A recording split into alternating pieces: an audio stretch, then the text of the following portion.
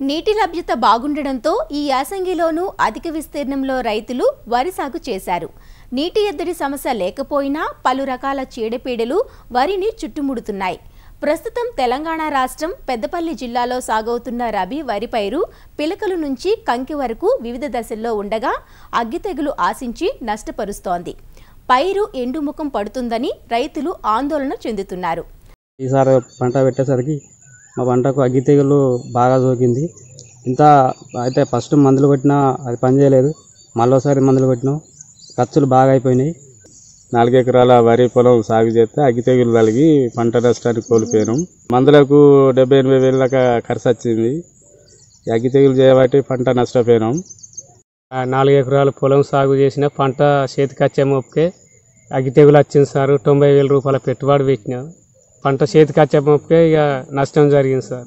ప్రస్తుతం పగటి ఉష్ణోగ్రతలు ఎక్కువగా నమోదవుతున్నా రాత్రి సమయంలో కొంత చల్లని వాతావరణం ఉండడంతో అగ్గి తెగులు వ్యాప్తి ఎక్కువగా ఉంది. తెగులు ఎక్కువగా ఉన్న పరిస్థితుల్లో యూరియా వాడకాన్ని నియంత్రించాలి. అలానే నివారణకు సమగ్ర యాజమాన్యం పాటించాలంటూ తెలియజేస్తున్నారు పెదపల్లి వ్యవసాయ అధికారి తిరుమల ప్రసాద్.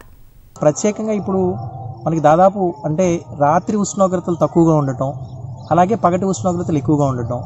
ఈ ఒక ప్రధాన కారణంతో మనకి అగ్గి తెగులని అది ఒక కండాకారంలో ఉండే మచ్చలు వస్తూ ఉంటాయి ఆకుల మీద. ఆ- ఆ కండాకారం మీద మచ్చలు వచ్చిన తర్వాత బాగా ఎక్కువైతే ఆకంతా వచ్చి ఆకు ఎండిపోతుంది. ఆకు మీద వస్తుంది తర్వాత నోడ్ అంటే కణుపుల మీద వస్తుంది తర్వాత నెక్ బ్లాస్ట్ అంటే మెడబిరుపు తెగులు కూడా వస్తుంది. ఈసారి కొంచెం ఈ వాతావరణ పరిస్థితులు అనువుగా ఉండటం వలన అది కూడా ఏంటి ఎయిర్ బోర్న్ అంటారు. అంటే గాలి ద్వారా వ్యాప్తి చెందుతుంది కాబట్టి ఆ అగ్గి తెగలనేది అనేది వచ్చింది. రైతులకు నేను సూచించేది ఏంటంటే శాస్త్రవేత్తల సూచనల మేరకు రైసైక్లోజోల్ కానీ కాసుగామైసిన్ కానీ ఐసోప్రోథైలైన్ కానీ లేదా ట్రైసైక్లోజోల్ ప్లస్ మ్యాంకోజెబ్ కాంబినేషన్ కానీ పికాక్సిస్ట్రోబిన్ ప్లస్ ట్రైసైక్లోజోల్ కానీ ఈ మందులు వాడుకోవాలి. ఇప్పుడైతే అలాంటి ఉధృతి లేదు. ఇది అగ్గి తెగులు గురించి జిల్లాలో.